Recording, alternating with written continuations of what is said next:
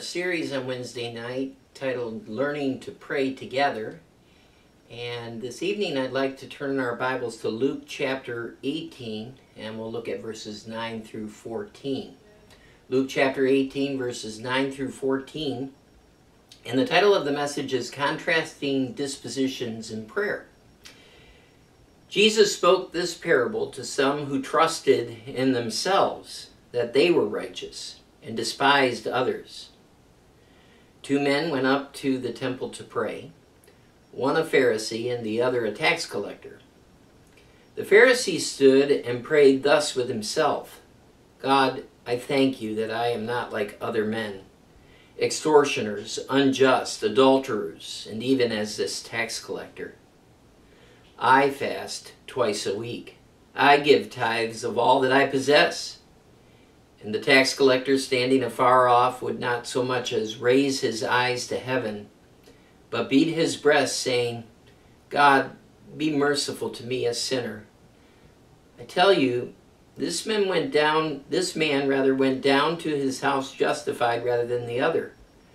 For everyone who exalts himself will be humbled, and he who humbles himself will be exalted. So I want us to see in this text that the objective for both men is the same. Uh, they go to the temple and their objective is to pray, to reach God. And yet the dispositions that both men have are completely different. You've got a self-righteous man and he prays within himself. God is not involved in this prayer effort and so he's not reaching God. But then you have a humble man who sees his need for mercy, and he won't even lift his eyes toward heaven, but he pleads for that mercy. His heart bleeds for it. And he gets the mercy that he wishes from the Lord. One goes away from the house of God justified and the other doesn't. And so let's think about the dispositions of both men this evening. First of all, you have the Pharisee. And you have to ask, well, what in this text characterizes the Pharisees' disposition or approach to God in prayer? Well, I think three elements are present. Uh, you have pride, first of all, right? When you're so full of yourself, you forget how empty you actually are. And that's what we see with the Pharisee hot air. You know, hot air is a great metaphor for the Pharisee because he's so full of this hot air. In other words, he's puffed up with nothing uh, and yet he thinks that he is full. The Pharisees uh, were that way. This Pharisee was thankful, but he was thankful for himself and for his self-righteousness. He was not thankful uh, for God or for his mercy. He didn't think he needed God's mercy. He spoke well of himself. He gave himself a eulogy while he was still alive. And um, he spoke so well of himself that he didn't see his need for God. He, he didn't commit sins in his mind. So, uh, you know, for him, uh, he he he didn't struggle with sin. He was blind to it. He he was deceived. All right, and so his daily disposition before God was a disposition of pride. And God finds this to be an abomination, of course. Whenever we're proud, our hearts are far from God. Another element to the Pharisees' approach or disposition is his lovelessness, if I can put it that way. I don't even know if that's a word, but he had a, a lovelessness about him. Uh, anyone who commends himself is usually very busy condemning others. And so we certainly see that with the Pharisee. He, he condemns a man that he doesn't really even know. Uh, and he takes the position that only God has as judge. And so the Pharisee is judging the tax collector in our text. And so uh, when he does this, uh, we see a man that delights himself in criticizing others. And when he does that, he's looking at life from a martyr's perspective. I mean, whenever we see our, ourselves as so righteous and everyone else is beneath us, uh, we feel like we're living this sacrificial life that we're doing great things for God, but we're sacrificing and nobody else is coming along with us. And we have this view of people that that that says to them, "You're just not living up to my expectations of you, so you're not really even worthy of my time." And really, that's how the Pharisees came across. People needed the religious information that the Pharisees had, uh, but they have forgotten mercy and sacrifice and serving, and so they, they really couldn't communicate all of the good information that they had because of the pride and lovelessness that was in them. So the Pharisee didn't love the tax collector. That's the bottom line. And we know this because he doesn't pray for him. Instead, he criticizes him. He, he does hate him. We know this because he hates him enough to condemn him. Look at this man, Lord, trying to approach you. It's not love at all. Uh, we, we really have to be a people that, that seeks restoration and, and peace and strength within our fellowship. We want, we're only as strong as our weakest link, so we have to look at the weaknesses that are around us and try to help people, pray for them, and approach them and try to bring them up in their relationship with God. Build them up, not tear them down by criticizing them. And then the third element in the Pharisee is self-dependence. I mean, if you really see this prayer, you have to ask the question, what sins does the Pharisee confess to God? Well, there are none, because he doesn't see any sin in his life. I haven't committed any sin, so what, why would I confess it? And yet we know that that's delusive. He, he, he doesn't confess sins, but he takes time in his prayer to God to describe how virtuous he is. Now, if it's true prayer, it's always preceded by this idea, Lord, I don't deserve what I'm asking for, but I pray that you would grant it to me anyway because of your mercy.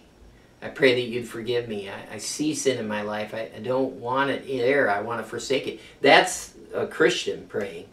Uh, we, we, we have to spend some, well, you got to ask yourself this question. How much time do you spend confessing sin to God in your personal prayer life? And then I'll kind of give you a good idea of where you're at. And uh, obviously we should be confessing sin every day. So he trusted in himself that he was righteous. He, he was self-dependent. He was self-righteous. That's the uh, Pharisees' disposition before God. But then you've got the uh, tax collector, and you have to ask yourself, well, what characterizes a tax collector's approach to prayer? Uh, what's his disposition like? And it's the exact opposite of that of the Pharisees, right?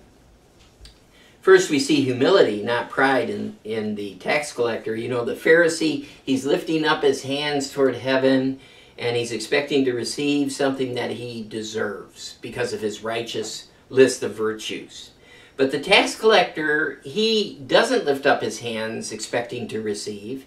Uh, he won't even look up toward heaven because he has this keen sense of shame uh, about him. He understands his own sinfulness and he's not worthy to approach God. He's so bothered by his sin that the text tells us that he beat upon his breast as he called out for mercy. That's humility. He understands that he doesn't deserve it. He's pleading for mercy. His heart is bleeding for mercy.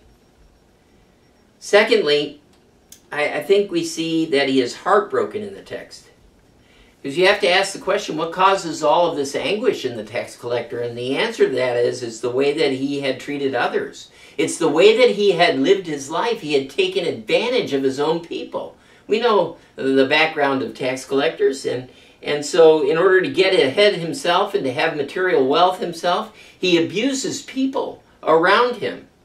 And so he, he knows that he's not deserving. He knows that he's sinful. He would view himself as the chief of sinners, even as Paul did, and worthy of all condemnation that God would direct toward him. And instead he pleads for mercy from God, and his heart is broken and contrite before God. The third element in this man is not a sense of self-righteousness, but a dependence upon the righteousness of God to justify him. He is depending upon God. Now, why does he depend upon God? Where do I get that from the text? Well, he depends upon God because he understands what so many of us fail to understand about ourselves. We need God's daily mercy. And that's the lesson. Now, if we're going to learn to pray together and, and be powerful in our prayer effort together, we're going to learn to need God's mercy each and every day. He knows that there is nothing in and of himself that is worthy uh, to offer to God. All human hope in his life is lost. He is the dregs. He's hit rock bottom. And that's a great disposition. you say, why is that a great disposition? Because God delights in people who hit rock bottom, who are broken and contrite of heart, because they have this disposition where they can seek God and His throne of grace and receive great power. So, those are the dispositions of both the Pharisee and the tax collector. And so the Pharisee goes away from the place of prayer and he's not right with God. I, am convinced that sometimes we go away from our prayer meetings and we're not right with God. And he he is not justified. That's what it means to be right with God. To be justified, to put be put right with God. But but the tax collector is right with God when he leaves the house of prayer. He is justified. You say, well, what's the bottom line difference? Well, Jesus tells us at the end here. Those who exalt themselves like the Pharisee, they are going to be humbled. But, but those who humble themselves like the tax collector, they're going to be exalted. And all of this takes place in the place of prayer. And so, do you want God to lift you up when you pray? Then have the disposition of the tax collector. In other words, have the right disposition. Longing, pleading, bleeding heart for the mercy of God. Let me just finish by really looking at this text and applying it to our lives. Are, are we trusting in ourselves? That's the first question that I'd like to contemplate this evening. Are, are we trusting in ourselves when we should be trusting in the Lord?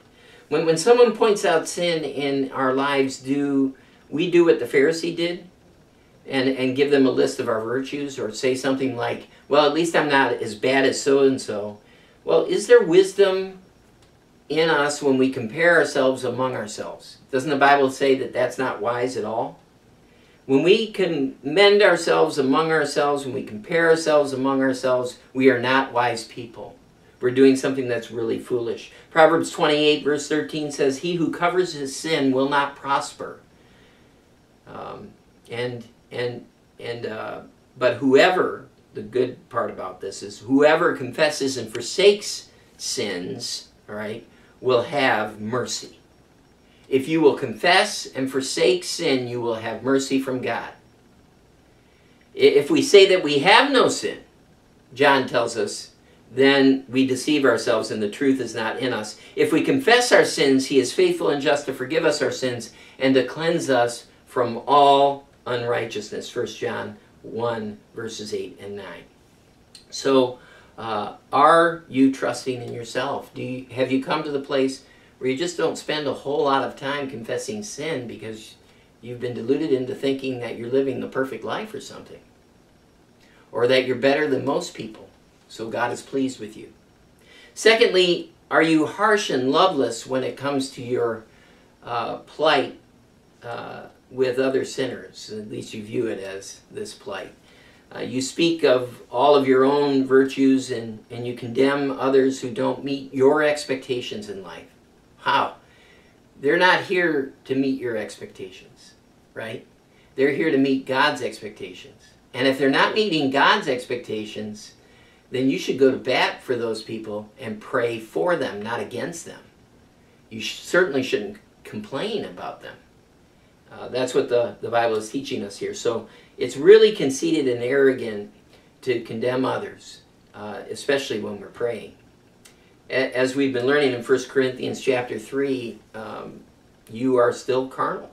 That's what he tells us. Verse 3 he says, For there, where there are uh, envy, strife, and divisions among you, are you not carnal and behaving like mere men? Even though the Holy Spirit indwells you, you're behaving like a mere man as if you don't have the Holy Spirit indwelling you. You are behaving in a carnal fashion. So those who understand their own sin will have a more loving disposition uh, toward others who are struggling in their sin. And that's the way that it should be. And that kind of atmosphere will be really good in a local church. Third, are you depressed about the sin in your life? Okay, that, that's an important question to ask because I think that the tax collector could have been at that place where he was just in despair. and depressed about his sin? Are you struggling to even look toward heaven for the mercy of God?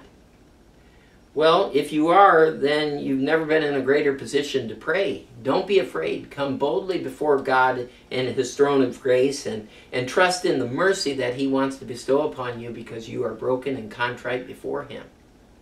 He will not despise you, He will not look down upon your call for mercy. He will give it. Uh, go, to, go to sleep tonight after we're done praying, but, but go to sleep justified, right? Don't go to sleep still carrying this burden of, of self righteousness and still pointing the finger at other people. I think that's the lesson for tonight. What, what would Jesus say to you tonight if you have cried out earnestly for mercy? Well, I, I think I know what he would say. He, he would say, You have it. And you would go to sleep knowing that you're justified. Perhaps he would say what he said to the woman who anointed Jesus' head and washed his feet in the presence of Simon, another Pharisee. This is found in Luke 7 and verse 48. Then Jesus said to her, Your sins are forgiven. They're gone. And those who sat at the table with him began to say to themselves, Who is this who even forgives sins? Then he said to the woman, your faith has saved you. Go in peace. Well, that's what will save you tonight. Your faith has saved you. Uh, go in peace. If you will express faith tonight by asking God to cleanse you from your sin, to forgive you for the unrighteousness in your own life, for, for the taking advantage of the people around you, or for the behavior like a Pharisee if you will do that earnestly, God will hear your prayer. And um, He will come into your life and bring spiritual healing. Maybe that's what you need emotionally, too. Maybe that's why you're struggling, even physically. A lot of the things that we struggle with spiritually affect us mentally and physically, too. I trust that you will be in good standing before the Lord tonight and that He will give you good sleep. He loves you. Let's pray together. Heavenly Father, thank you for the opportunity to meet on a Wednesday evening and, and to pray to you. We, we a uh, sin, Lord, there's no doubt about it, every day. And some of it is really subtle and we miss it. Now, it's, it's really wonderful that you have made it so we don't have to enumerate all of our sinful activity before you each day. And that we don't even have to wait until the end of the day to confess sin. But as you bring things to mind, help us, Lord, to acknowledge these life dominating traits that are bringing us in a negative direction. If there is pride in us, if there is this idea of arrogance and lovelessness, if, if we're struggling with self righteousness, Lord, please, please forgive us and gently nudge us toward a direction where we are humble and heartbroken and uh, eager to serve and to receive healing. Father, I, I ask that you would help all of us together to be in a good place to pray as we learn not just to pray together, but to pray as families and as individuals. Uh, Lord, we are needy right now. We have great needs for our general fund, great needs for our missions efforts, uh, great needs for the school next year, and we just live in a very unstable time. Please provide for us. Uh, please keep folks safe in our church, provide for their daily needs, help them to rest well, to exercise. Lord, give what is needed financially to those that are in our church. If there's anyone hurting, help us to meet needs the best that we can. We pray for all of this in Jesus' name. Amen. All right. We will see you uh, on Sunday. God bless you. If you have any needs at all, go ahead and give me a call. I'm always here for you. God bless you.